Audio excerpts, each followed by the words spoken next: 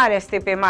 Em jeito de empréstimo, o Banco Africano de Desenvolvimento, BAD, colocou à disposição do projeto de reabilitação de infraestrutura e apoio à segurança alimentar, PRIASA 2, um montante orçado em 16 milhões de dólares, com vista a implementar as suas ações no meio rural e no sector das pescas até 2020. Foi feita na tarde de ontem, 29 de março, na presença do Ministro das Finanças, Américo Ramos, em representação do chefe do governo, a oficialização do projeto Priasa 2, que é a continuação do projeto Priasa 1. Por outro lado, a aprovação do Plano Nacional sobre a Gestão Territorial do país, que, segundo o mesmo, se reveste de veras importância para o país. A nossa presença testemunha a alta importância que o governo concede aos referenciados projetos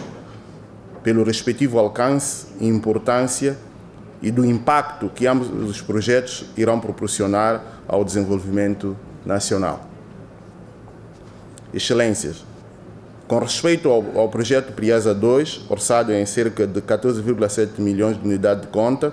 com a duração de 5 anos, entendemos que, pelo facto do projeto dar seguimento a diversas atividades por nós reconhecidas no quadro Priasa 1, está assegurado a sua continuidade, pelo que teremos a oportunidade de escutar a apresentação do projeto que seguirá. O facto do projeto cobrir as áreas das pescas, da agricultura, com destaque para as pistas rurais, o sistema de irrigação, as unidades de transformação, a formação de agricultores, a qualidade dos produtos destinados ao consumo, o apoio a cantinas escolares, entre outros, entendemos que estarão criadas as condições para assegurar a absorção da oferta resultante do, do, do, do aumento da produção agrícola. Excelências, o segundo projeto, orçado em cerca de 2,2 2 milhões de unidades de conta, com a duração de 15 meses, trata, de uma, trata da elaboração de um importante, e se não o mais importante instrumento de planificação e de governação que qualquer país que pretenda ter um desenvolvimento harmonioso deve possuir. Isto é, o Plano Nacional de Ordenamento do Território, projeto que vimos almejado já há largos anos. Janvier Litsi, vice-presidente do BAD, presente na cerimônia, no seu discurso, disse: C'est avec euh, un réel plaisir que je participe é com grande prazer que eu participo em nome do Grupo Banco Africano de Desenvolvimento na cerimônia de lançamento de duas operações financiadas pela nossa instituição, uma que será o projeto de reabilitação das infraestruturas de apoio à segurança alimentar PRIASA 2, aprovado pelo Conselho de Administração do Banco em junho de 2015, bem como o estudo do Plano Nacional de Santo Meio Príncipe sobre a gestão territorial também aprovado em janeiro de 2016. O território de São Tomé e Príncipe, aprovado em janvier 2016. O projeto que insere-se na vontade de melhorar a segurança alimentar e a redução da pobreza em Santo e Príncipe tem como prioridades a modernização e a transformação do setor da agricultura, com algumas novidades como a valorização e comercialização dos produtos locais, com incidência para as novas tecnologias, que foram pontos muito focados no projeto antecessor. O projeto Priasa 2 é o projeto de reabilitação das infraestruturas de apoio à segurança alimentar, é uma, uma continuação da, da, do, do Priasa 1.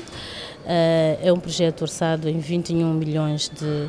de dólares, em que uh, é um empréstimo uh, um empréstimo do, do BAD em 16 uh, milhões de dólares, uh, um donativo do Fundo um, Ambiental em 3,5 milhões de dólares e a contrapartida do Estado em 990 mil dólares. O projeto pretende até 2020 reabilitar as pistas rurais de modo a facilitar a circulação de pessoas e mercadorias do campo para a cidade e vice-versa, assim como expandir a rede de irrigação dos campos agrícolas através do sistema de irrigação gota a gota, que constitui uma novidade dos últimos tempos no país. O objetivo principal do projeto é o aumento da disponibilidade dos produtos agrícolas e eh, de pescas através da reabilitação e construção de infraestruturas agrícolas e eh, pesqueiras, ah, o apoio